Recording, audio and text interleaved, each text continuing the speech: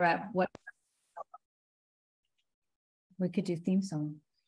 The problem is if you use a theme song that's copyrighted, you can't post it. Yeah. You need to create your own. 'Cause they Good have morning, everybody. Hey, John. Hey, John. Hey, Johns. Hey, good morning, afternoon, Hi. whatever it is. Good to see you, Linda. Good to see you. Hi. Hi. Look at all those faces. Well, do you want to wait for a couple minutes or do you? Uh, guess Well, we we can should start. respect the time, Yes. but uh, It's good to see you. All of good you. to see everybody. There's quite a number more that should be coming, but we'll respect the time and, and get started. Okay, well, good morning, uh, everybody. Um, and uh, good afternoon, good evening. I'm on the West Coast, so morning for me. Uh, thank you all so much for joining today to, to talk about perspective. Um, I'm Matt Chadsey. I'm a host here at Systems Thinking Daily. I'm a facilitator for eCornell, uh, teaching this work for uh, students there. And I apply these ideas every day to my consulting work, helping communities adapt to climate change. I'm super excited today to be hosting the second in our series with Derek and Laura on, uh, on their research. The goal of these sessions is to, uh, to make the underlying research in DSRP accessible to, uh, to you and to uh, the folks you work with and help build skills and effectiveness in your own work. Um, and I think these are these are really interesting sessions, right? It's we are just talking a minute ago. It's pretty rare that uh, you actually get to talk to the researchers and sort of explore the intricacies of of their work. So this is really a, quite a quite a special opportunity. I think uh, just yesterday planning for this session, I, I gained a couple new insights myself uh, just in a few minutes of, of talking through these ideas. Uh, little introduction is needed, but just quickly, uh, Derek and Laura, they both serve on faculty at Cornell University, teaching systems thinking, modeling, and leadership. Uh, they're sought after speakers uh, around the country and world uh, talking about systems thinking. And they're working with organizations trying to solve some of our most complex and important problems. And perhaps most importantly, they lead the Cabrera Research Lab uh, with the vision of empowering um, 7 billion systems thinkers. Yeah. So, and also want to do a special thanks to Luna Cabrera, who's done all the hard work getting us uh, organized for this session today and does many, many things on Systems Thinking Daily to keep things running smoothly uh, each and every day. So logistics for today, uh, we have about 45 minutes total. Uh, first, we're going to do a quick uh, perspective expanding challenge for you. Uh, next, Derek and Laura will present the research from the paper called um, Perspectives Organize Information in Mind and Nature that was published earlier this spring. Then we'll spend the remainder of the time uh, talking uh, sort of casual conversation, asking questions and discussing some more uh, details about the uh, about the work and about perspectives in general. And if you're new to ST Daily, these are pretty informal sessions. You know, don't be shy. At, please ask any questions that you have. Uh, truly, all questions are good questions here. And if you have it, uh, it's pretty likely somebody else does as well. Um, and then finally, this uh, session is being recorded, as you just saw, and will be posted on Systems Thinking Daily in the next, uh, hopefully, week or so. And the uh, if you missed it, the last session on the so-called fish tank study is now available. Um, and Alina is going to put a link in the chat for you there. Um, so with that, uh, I'll hand it over to Derek and Laura. Good morning. Oh, Thank you. Good to see you all. So we are going to do the uh, brain teaser at the end. We thought that would be a little more fun uh, to do that after we sort of have this conversation. Might bring home some of the points of what we're talking about.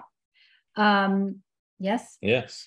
So we're here to talk about uh, one of our latest research studies uh, on perspectives. And um, there are some things about perspectives that I think are unique in the sense that, you know, perspective is obviously a cognitive act. It's, um, it has positive and negative effects, but it's not really in and of itself positive or negative. I also think uh, in talking uh, through some things the other day, one of the things is that perspective is sort of in my in my view misunderstood in some ways in the way that we think of perspective as our point of view rather than what it actually is, the interaction between those two elements of point and view. So did you have something go? Oh, I was just gonna say that, that perspective really in the research is, is kind of a very root level thing. And, and so it's, it lies underneath some things that you're extremely familiar with, like all those terms up there on the left. Um, things like empathy, compassion, analytics, bias, stereotypes, conflict, prejudice, um, things like frame of reference, which is used a lot, for example, in physics, scale, which is used across the uh, natural sciences quite a bit. Obviously, point of view, viewpoints, mindsets, beliefs, opinions, all those kinds of things, uh, and, and even critical thinking and problem solving and all that type of stuff. So, perspective is really one of those things that, you know, uh, you learn it and it lies at the root uh, of so many other um, things. One example being empathy and compassion can't exist without perspective taking, for example. And we all know how important empathy and compassion are. So, well, I also just one other thing I've had is I think some of the things I'm hoping we can get across in the quick summary of this research is um, that because perspective is so widely used and has so many synonyms, I think we we walk through the uh, walk around thinking we really understand it at a deep level. And so I think because it's such a common English word, we don't really think about the underlying structure of the perspective taking that we we engage in. So we started um, looking at a few questions when we did this research, um, how perspectives form, um, what the dynamics are between point of view in perspectives, um, the role that they play both individually and socially in terms of cognition. Um, obviously, how perspectives are uh, related to metacognition and what it means when we're more aware of the perspectives we're taking, what how that has effects on us, on our lives, and those kinds of things. So we did nine studies ourselves. We did a wider lit review, which we'll talk about probably later a little bit. Um, but we really wanted to, to focus on the elemental level of point and view and how perspective, those two things are like the others we've talked about, co-implying, they're interchangeable, um, linked obviously, yes. a very special relationship. Existing in both mind and nature, um, you know, and, and so when we design these nine different experiments, we design them purposefully to kind of work as an ecology of experiments where one experiment informed the others to identify and isolate variables such as point and view and the unique relationship between point and view, and also the dependencies of perspective on the other patterns, distinctions, systems, and uh, relationships. So uh, we designed it that way, and I'm happy to report this doesn't always happen, but um, it did in this particular case that we got high statistical um, uh, validity across all of the nine studies, which is kind of, uh, you know, no pun intended, significant. Um, Alina will send you the, we'll put in at the actual paper, um, and so you can read the paper. But we're going to try to go through the paper a little bit so that you can, you know, if if you're not familiar with certain um, research terms or whatever, or if you are, we're going to sort of walk walk through what we found. Yep. And some of the things that we've talked about before that I think are relevant and why we should think about this is if you remember in in a lot of the stuff that we've talked about, we talk about the fact that when people are asked to think something through, almost half of us have that moment of freezing up and not knowing what to do when someone asks us to think about something.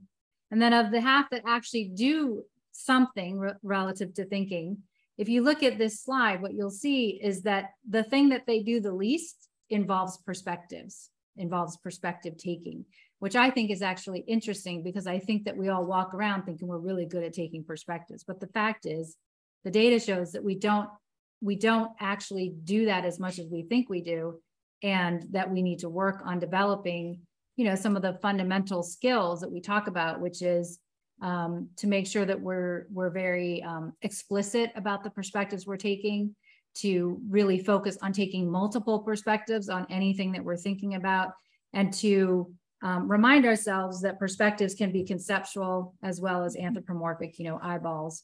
And we want to really think about um, developing those skills purposely because it it seems like we're not doing them as much Yeah. as we think we are. And it's it, perspective. What this research shows is perspective is really a mind changing event. Um, it it has a it kind of like reverberates down your mental model, and so the fact that we're that perspective is showing up last on this list in terms of uh, the regularity with which most people are using it, combined with the fact that it's so critically important, is obviously a, a sort of a critical mismatch. And of course, the study that shows that um, you know we get the Dunning-Kruger effect of competency and, and confidence, and in particular, perspective is the widest uh, gap in of of the DSRP and mixed um, is is also pretty important. So uh, perspective is what we're the least competent in and the most confident about.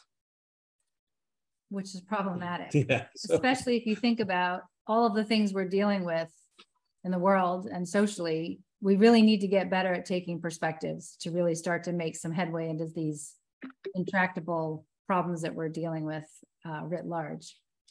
And if you want to know um, kind of what are the empirical conclusions that we can take away from this ecology of studies, this is a, a, a short list.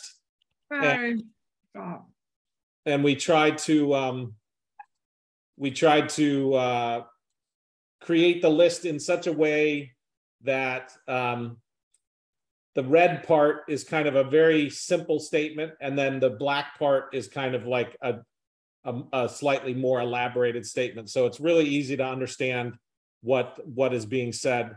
Um, and Alina can send this paper as well. Um, this is a summary of all the different research that has this in it. So you don't have to read it all right now, but these are empirical conclusions that can be made as a result of these uh, these different studies that we're kind of reviewing today. Yeah. Yeah. So I think one of the things that I would just emphasize is if you read only one of these papers, that's great. If you read a lot of the papers on DSRMP, you're going to see some parallel uh, structure and the things that we're finding in that the elements exist, that, you know, we have certain strengths and weaknesses in terms of seeing perspectives that are more like ours versus not. Um, the fact that uh, perspectives are uh, very interdependent on the distinction systems and relationships rules so that all four rules are influencing one another um, quite remarkably, I would say. Uh, so what we wanted to do also is just sort of leave you with this overview slide and see if, uh, Matt, there are some questions that you wanted to start us off with. And if people have questions, I think they add them in the chat. Is that right? Or do they just speak up? Uh, yeah, no, go ahead and add them in the chat. That'd be great. And um, we might do some live live questions as well. Um, yeah, I mean, I guess one thing is obviously, as you say, people think they know about perspectives and it's talked about a lot. Could you talk a little bit about um, how this research fits in with the the bigger picture, the sort of the history of perspective research? You know, how this sort of adds to things um, that have been thought about before and and how it's new. Yeah, so I mean, in the beginning of the paper, we sort of contextualize our own research, uh, how it's different from previous research and how it extends it. But if you look at the paper, you'll see that a lot of people have been thinking about perspective for a long time. There are different types of scientists and researchers who are doing things like, do plants have a perspective? It turns out plants have a perspective. Uh, they have things like they look at uh, mate display behaviors in different types of birds and how they take different perspectives to do that. Um, there was one person who talked about atoms having perspectives that we've interacted with a bit. Um, Yep, These are cells Yep. having perspectives, atoms having perspectives. Um, really quite profound in that uh, I actually talked to this this researcher and asked him point blank, are, are you being metaphorical? Because Dyson, who's a very famous physicist, talked about this as well, but he tended to talk about it in very metaphorical terms. but I said, "Are you being metaphorical or, or empirical?" He said, "I'm being a hundred percent empirical." Um, so atoms have perspective. Hmm. Uh, is the conclusion of of his of his studies.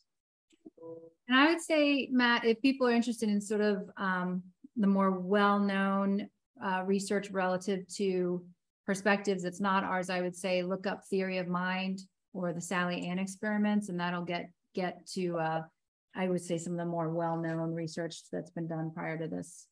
Yeah, there's there's a long history, like Laura said, and and the beginning part of the paper kind of uh, reviews some of those things, and then there's three different lit reviews that we've done that review over 150 different studies across the disciplines um, that that focus on very you know perspectives and and other uh, patterns of, of DSRP.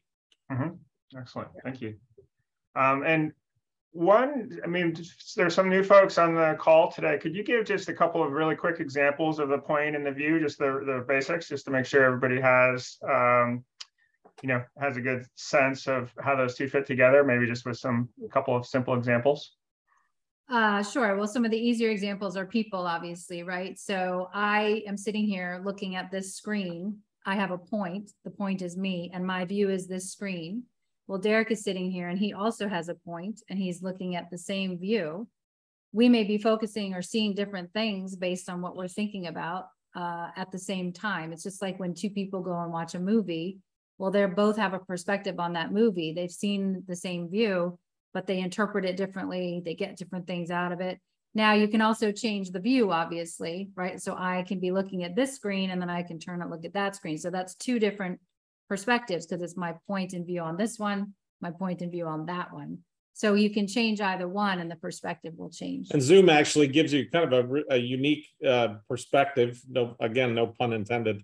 Uh, of the screens because I, I bet you dollars to donuts that uh, Linda's screen that she's looking at in the configuration of all these different faces is different than mine. So even though we have the same parts in our view, the actual view that Linda's seeing or Mark's seeing or Hope's seeing is different than the one that I'm seeing. And, and you see that in Zoom mistakes all the time where you think that you say, oh, well, uh, let's start in the left hand, top left hand corner with Matt. Well, Matt isn't in the top left hand corner of everybody's screen, right?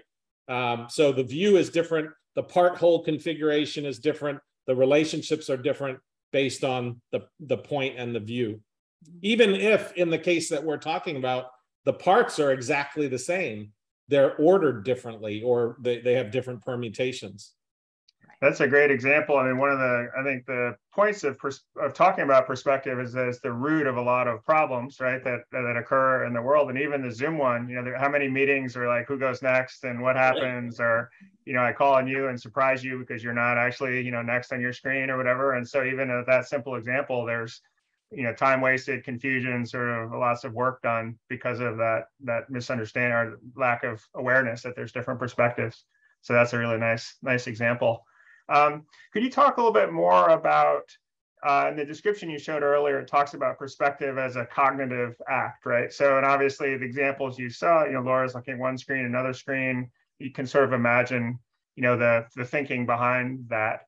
But when you talk about an atom or a part in you know a place in space or a asphalt road or whatever those don't seem super cognitive to me. So could you kind of talk through you know how how you think about those as perspectives and how folks can kind of incorporate that in, into their own work?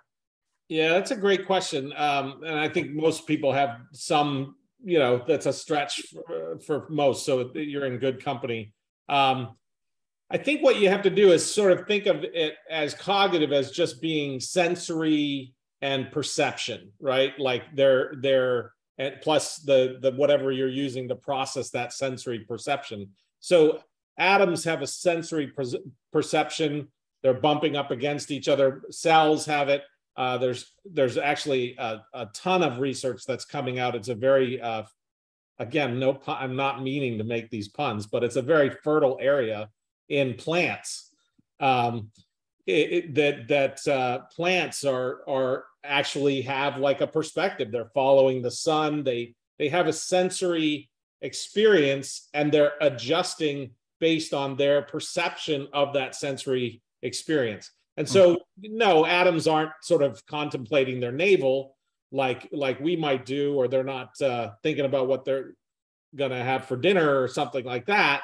But they are in their own kind of atomic like world, aware of the other things that are around them, and they're making uh, behavior as a result of that awareness. Mhm. Right? Excellent. Yeah, that helps a lot. Absolutely. Thank you. Um, Scott asked a great question. Um, this is more about the research, but do you find that people um, have more trouble with the point or the view or the combination being the perspective or when when you look at the research kind of where do people get Mm. stuck? And i guess to add to that and one of the goals of these discussions is you know how we can sort of apply these ideas in our own work or you know better relationships with people understanding of systems. You know how um, based on your answer kind of what can we do to to help um, them be more Yeah, perspective that's seekers I'll take that one too. That's a great question, and I I wouldn't say that they have um, that that they're better or worse at P or V, which is point and view. Bit little P, little V. Big P is perspective. It's unfortunate that there's two P's, but um,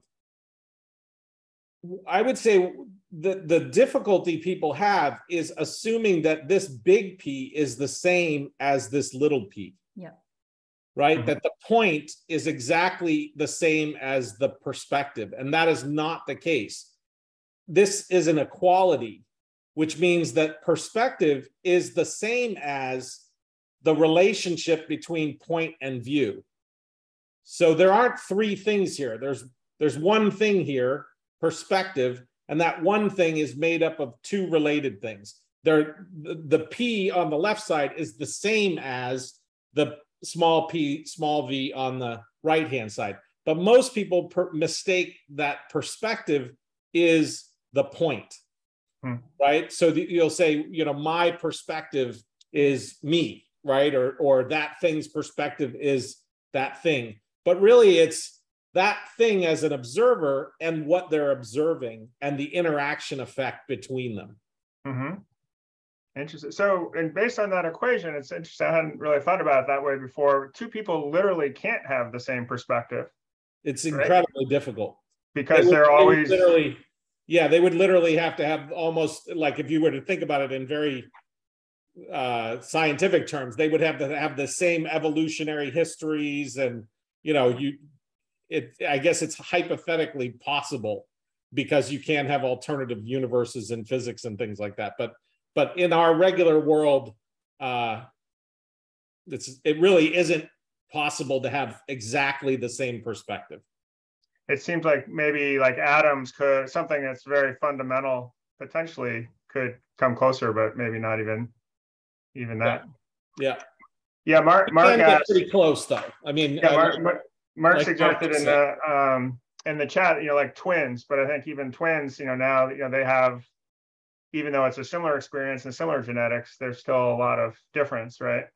yeah, because their life experience is different. So even though they have a, a genetic similarity, which is going to obviously influence them, uh, their genotype is very similar, uh, but their phenotype, the way that genotype is expressed, is not always similar. So um, we see that in twins that have been separated at birth, where their genotype is relatively similar, but uh, their phenotype is possibly dramatically different versus twins that grew up together you know they're going to have um, easier times with perspectives Right. Interesting. Uh, here's another from John um, saying that um, are human perspectives always present in any view because we cannot access perspectives without our eyes, basically. Um, sort of, I, I guess, yeah. Our perspectives always there. yes that's actually one of the things that came out of this study is that there's always uh, what's called a root perspective so even even if you're making a map with perspectives on it all of that is based on some root perspective, always, always, always, always. And the root perspective is almost never explicated. Um, I imagine a world someday where anytime you see a graphic, the person has explicated the root perspective that that graphic has come from. But of course, when we look at graphics today, you never, that, that nobody ever explicates, hey, this is my perspective that this graphic was made from, that this model or framework or whatever was, or this statement really was made from. So there's mm-hmm. always a root perspective. It's almost always implicit, but it's always there. Well, I also would, I also think one of the complications I will say with perspective is there's a big difference between me sitting here and taking Derek's perspective or me standing up and sitting in Derek's chair and seeing Derek's perspective. So the mm-hmm. first case is I'm actually imposing my pers- my perspective of his perspective versus actually being in his perspective. So it's like first order and second order perspective taking. And I think that's a really hard distinction for people to to know and also to operationalize in that sense. Are you going to a and, slide? Yeah, one of the studies was actually a pretty fascinating study. Um, we called it the what what is the plant study? And um, what we good at naming studies, right? uh, where is the plant study? And what is fascinating about this was we yeah. we literally asked people a very simple question of the plant is to the left or to the right, showing them four different pictures. The plant is to the left or the right. And you'll notice that in the congruent situations where our perspective, the root perspective of the of the participant was aligned with the image's perspective, they got it right significantly more, uh, a third of the time more often.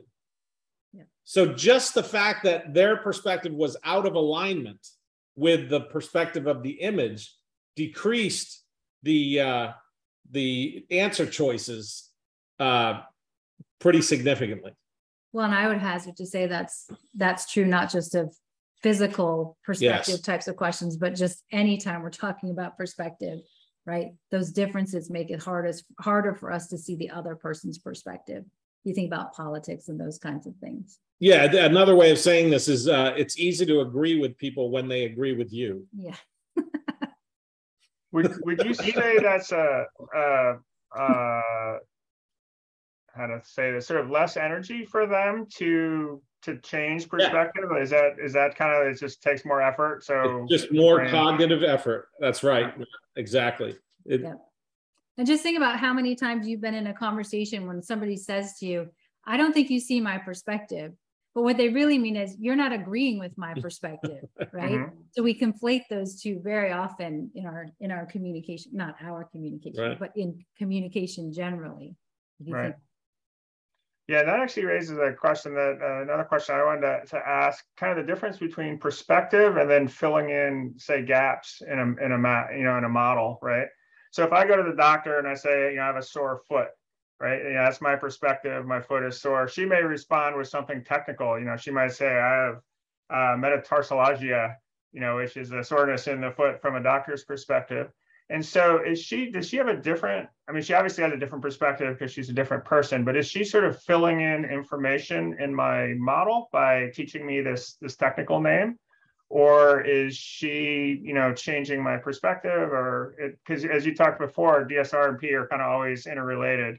Um, so how do you how do you sort of untangle that? Because I think, like Laura just said, a lot of times people sort of think, oh, I have to take their perspective, or you know, I have to agree with them, or whatever, to to move forward in a conversation or something like that. So how do you kind of untangle perspective from the other elements, or not? Hmm. Yeah, that's a fantastic question. Um, I, I hope this makes some sense, but uh, we I often hear when you're in a debate about something, especially like a scientific debate, that uh, or or you know politics or whatever that that oh well that's just semantic. Mm. well so what does that's just semantic mean? That's just semantic means that um, we're saying the same thing but we're using different words. So in other words like if i'm speaking english and mark is speaking french then all we have all we need to to kind of understand each other as a translatory device to translate english into french or french into english right um, that's semantics. But but if we actually disagree, and both of us are speaking, say, English, um, the way to tell that, the way to tell whether it's semantics or something different, is to look at kind of your mental model. So if you use the word foot pain and she uses the word, I forgot the word you use, but some medical term, that might be semantic. You might literally have the same model. But if you look at the parts and how they're related, her model might be, you might presume that her model is more sophisticated than yours. And yours is, is quite a bit more simpler, but also more personal and more pragmatic to your particular pain and things like that. So you'd have to, in order to know whether that was just semantics or not, you'd have to delve into that person's, the both people's mental models. And if those mental models completely overlap, it structurally, and there's one-to-one differences in wording, then that truly is semantic. But otherwise, it's not. It's meaningfully different. Really interesting. Um, so Linda just asked a question, which I is, is really related to this, or made a statement, but I wanted to see. She said um, the distinctions we make inform our perspectives, and we all make our own distinctions. Um, one way I look at that is actually you you could agree on distinctions, right? Like Yes. like the parts of the foot you know we could agree on the way we want to break down you know the parts of the foot and we could both agree on that so is is it true that people can um, sort of agree on distinctions or um, or is there always sort of a slightly different flavor there and i hope i'm doing justice to your to your question linda or statement I think I'm not sure I may I know that quite. I think what you're saying is yes, they can we can come to the same distinctions from different perspectives, right? But that's clearly a function of being able to articulate what that distinction is at a, maybe at an, another level of um, specificity. Um, and from a science, from kind of a scientific perspective, what this research is showing is that the those any distinction we make, literally, if we make the, the distinction dog, and everybody here conceptualizes what that word means as soon as I say it, dog. And and and the question is, do we have the same distinction? And the answer is no, we don't. None of us have the same distinction of dog. But what we do have, and, and these various research studies, there's about 28 of them that we did in all these different papers. This, this is just nine of them. Um, what they show is that every distinction is actually like a statistical cloud. So there's a center to that cloud, and we and you know, like it's almost like if we all shot at the same target, we wouldn't exactly hit in the same hole, right? But we would hit in a in a right. in a cloud around that target. So every distinction is really scientifically a statistical cloud of centeredness and and where that cloud exists is where the distinction exists. But you and i don't actually share the same distinction for the most simplest and everyday things never mind things that you know are that could be debated. Things like what is a you know what is coffee or what is you know mm-hmm. bread or something like that.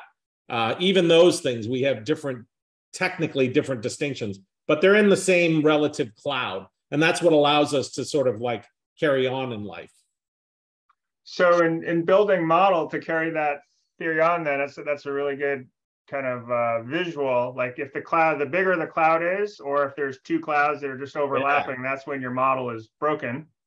And well, your goal, it seems like your goal in like in an organization to develop a shared model or whatnot is basically to make that cloud as small as possible. So we're all thinking you know hunting dogs or something like yeah. that is, yeah. is is the subset even though we're all still going to have a little bit different flavor of that does that make sense yeah you want that that that spread pattern to be as tight as possible the tighter it is the more kind of the more you're communicating uh mm-hmm.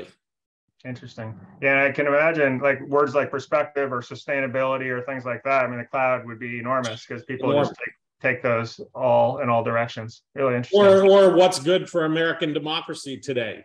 Mm-hmm. Right. You, I mean, you know, putting it in our common day terms. I mean, the reason that we're having so many difficulties in our country right now is because the answer to that is so diverse that it is like probably six or seven different clouds. Mhm. And uh, you know, whereas in a you know in the past perhaps it it was much more of a um, uh, much more of a singular a singularity or something like that. We Yeah. can actually see this in networked analyses of Congress and the voting patterns of Congress that Congress used to vote kind of like this. and Mhm. Now they, now they vote like this. Yeah. They're separated. Yeah. They're completely separated. Yeah. Yeah. Definitely. Fascinating. Yeah. Yeah. Um, so let's, um, I had a question and, uh, Robert asked a really similar question. So this is more about, um, you know, how we can apply this in our work and, um, both how, Robert asked how you can, um, explore the point and view relationship, you know, further in general situations. And sort of the add-on I'd do that is, you know, what have you seen in your consulting and working with different folks on, on models and building perspectives that's, you know, really most useful? Like how, what are the ways to, uh, what, you know, the shortcuts to really useful, valuable ways to, um, to apply this idea in, in real situations? I think, I think really, you know, I, one thing that the reason it's called systems thinking daily is we want to really start to think of these things in the micro, like in the small things we're doing every day, right? So, you know, if you're constantly uh, pushing yourself to see things like the perspectives in your interpersonal communications on a day-to-day basis and always reminding yourself that your perspective is different than others and questioning what do they see right? I know what i see. What do they see? And trying to figure out what the differences are. And sometimes those differences land in a place where there's a there's a the a distinction that we are thinking different things but using the same word and identifying those kinds of mistakes between and among our communication patterns. That's how point view can help with that. I would also say when you're thinking about or starting to think about any kind of system or a problem remind yourself you know that there are many different ways to frame it many different ways to think about it. Challenge yourself to take different perspectives. And as you were talking about matt like conceptual perspectives right so you know it's one thing to take the perspectives of all the things with eyeballs inside of a system but what about a perspective of sustainability or a nature-based solution or cutting the cost or reducing division uh, in groups those things can all change and alter the way that you're seeing that system and also challenge you to say like okay the person next to me is an expert in economics Yep. What's that person's perspective on my problem the person next to me is an expert in knitting what's their perspective on my problem and Mhm. and sort of getting fluid with that that uh, interrogation i would say of your mental models and also thinking about it in your day-to-day life Mhm.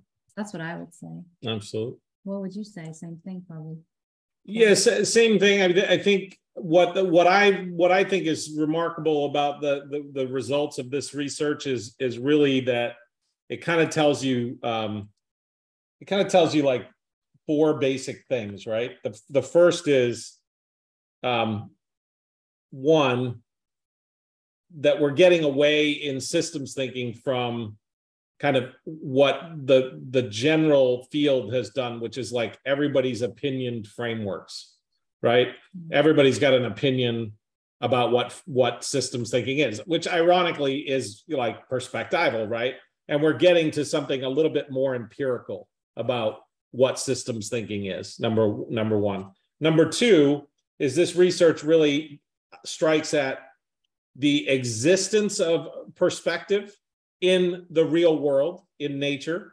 and the um, and the existence in in nature but also in mind. So the studies are designed to, to isolate this variable and also this variable and then also the effectiveness. Like if if you know about perspective point and view will it increase your effectiveness?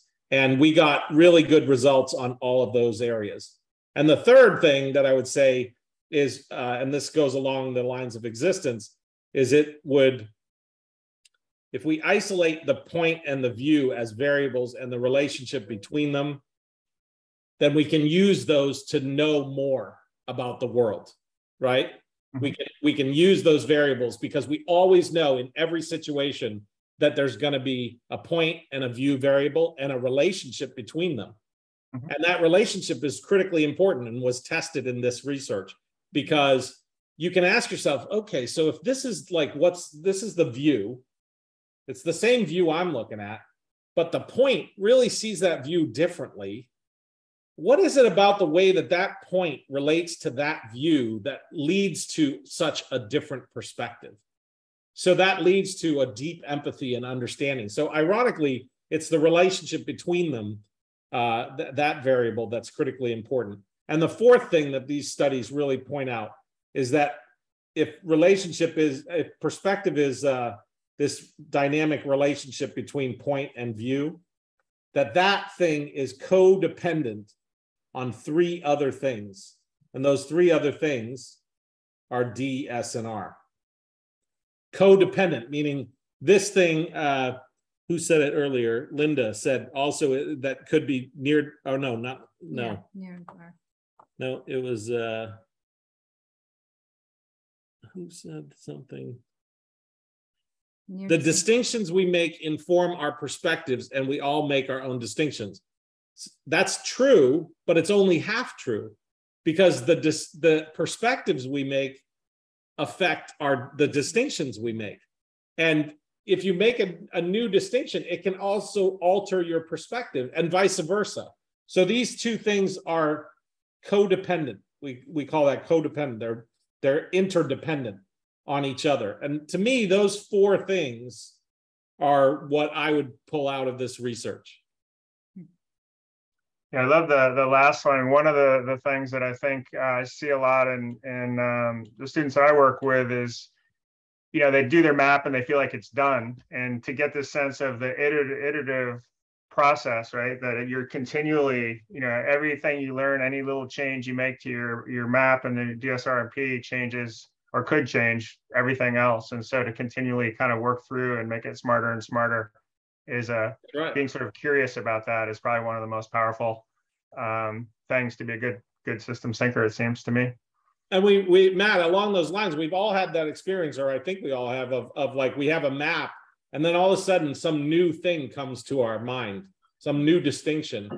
And then as soon as that one distinction is added to a map of 20 or 30 things or 100 things, it causes you to take a perspective that's different and completely redo the map. Mhm. So that's the power of that interdependency is a new distinction can can cascade your perspective and a, a new perspective can cascade your distinctions and your systems and your relationships. So it really is very dynamic what the brain is doing and it and it and if you understand those dynamics and the simple rules it doesn't have to be complicated Mhm. it's actually quite simple But that's also why it's very useful to use perspective as a limiting and expanding factor in your maps, right? So the framing and stopping, like yeah any framing or stop, any fropping rule is in fact a perspective, which is meant to help reduce that sort of massive complexity and those massive maps you could create and get them to be a little more focused. i would actually I, I would actually add that as a fifth takeaway is the There you go. a lot of people think that perspective always expands your analysis, Yeah, but perspective can constrict your analysis, focus. right? It can constrict your analysis. And that's what framing and stopping rules are all about. You say, let's just look at this from the perspective of cutting $28 million from our budget. Well, that's a, a super limiting perspective. That's narrowing your analysis or, or your thinking. Mhm. Whereas you could say, let's get everybody's opinion on this. Well, that's going to expand your thinking. Mhm. and it's it's not good or bad. It's we do different things in different contexts for different reasons and your brain can can do all of it. It's just a kind of a remarkable little device that we have in this hard thing up here but that's also a mismatch. I think a lot of work in business, right? They they don't do that control of that perspective, and so they're asking you know feedback from everybody on everything when all they care about is that budget and specific changes to that budget. So that's an opportunity to make models a lot cleaner and make work a lot more efficient. It seems like in in, in problem solving to Yeah. uh, to do that. Um, so we're close on time. I have one more super quick question.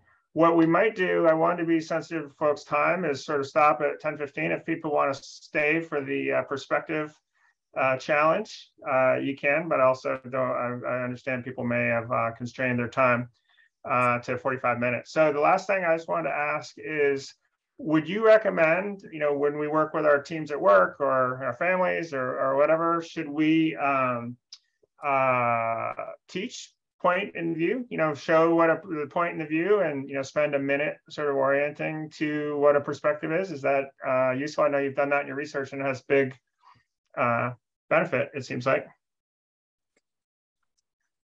Um, sorry, say that one more time. I missed. Should we teach a point and, you know, should we spend a minute before a meeting, uh, you know, a problem solving meeting or something else, Oh, teaching yeah. a point in a view, you know, drawing the equation and describing it in, in a minute? Is that helpful? I think it's, I think it's helpful. I think actually what's, um, what might be actually as helpful is to really take a moment to have each, each person involved in that collective activity to articulate their perspective.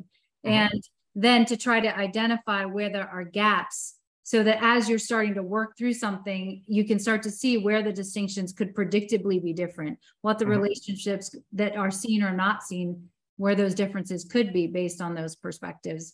So, I mean, I think when you when we teach, I'll, I'll be honest, when we teach people that perspective is a relationship between point of view, it actually takes a little while for them to get used to that idea that it's a re- relationship between them. And then we start giving them examples of like movies and networks and you know even Zoom things. Uh, but it's it's a hard thing for people to sort of grasp because we're Mhm. and as, as I said in the beginning, perspective to us, we've grown up Ah. with the word and we know we know what are you doing? oh, we know we always think that perspective is like our point and we have to Mhm. really disabuse people of that and that takes a while because we've grown up our whole life thinking we have a perspective right, Right. Possess it it's ours that kind Right. all right so we're gonna do a brain teaser We're gonna do a good. teaser, but I might have just ruined the first one if, it- if you're a quick visual study. So what do you think that is?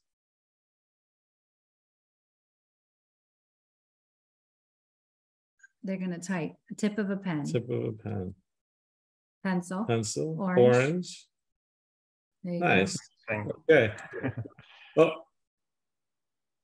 so that's the answer that's what it is. and then the next one What do you think that is?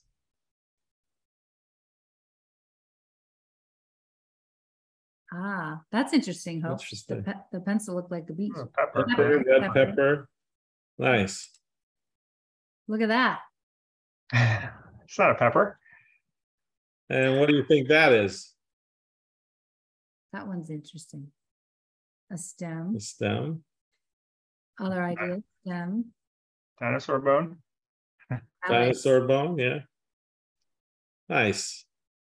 So this is just a, a little exercise that, that we play around with. Um, it's amazing what, what little cues that come into play. The more parts you have of the thing, you get more um, uh, understanding of what it is. Um, Right. And the point is, you know, you're all looking at the same thing and you are seeing similarly and differently. And it all depends on your perspective. You know, when I first saw the stem, I thought it was some sort of fuzzy worm because I don't know, it was in the context of something else. And I mean, it's just fascinating. This is what we do with groups with our students, you know, to really get them to understand that we can all be looking at the same thing and have completely different perspectives on it and how it changes the distinctions we make and those kinds of things, you know. exactly.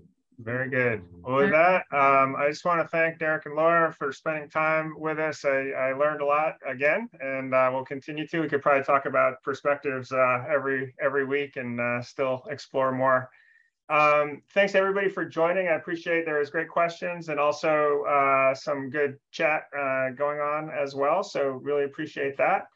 I hope you'll join us. Our next session is uh, November 3rd, which is about part whole systems uh, which is a thing that maybe, you know, it's a little more um, sort of uh, familiar maybe in, in ways and perspective, but also super important to, to mapping and can be pretty fun to, to dig into the research and understand how we organize things and uh, think about part whole systems. So um, with that, and again, feel free to carry on the conversation if you have further questions and want to post them in the Systems Thinking Daily uh, chats and whatnot. Uh, definitely do that, and we can all sort of continue this conversation as well. Yeah. So with that, thank you very much. Good to see some new faces, and uh, we'll see you in the community. Good to see you all. Thanks, everybody.